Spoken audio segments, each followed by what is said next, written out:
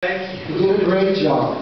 Uh, It was very funny because really he only had a couple of seconds before coming on stage. Everyone is so, actually, there's been some really bad flubs of our names over the years, you know?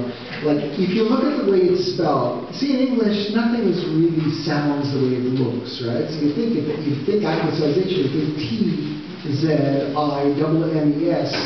Okay, what do you think that means? It's times or teams or something like that. And we've had people try to do that. Of course, in international phonetics, it's always